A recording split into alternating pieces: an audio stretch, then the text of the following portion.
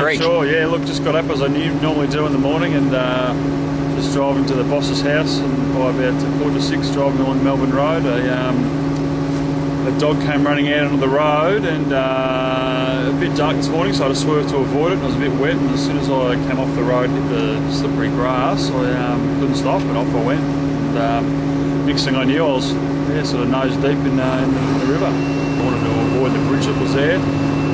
Wasn't a lot of steering, so uh, yeah, repeated the four-letter word quite a lot. And as soon as I stopped in the water, I could think of was um, trying to get out.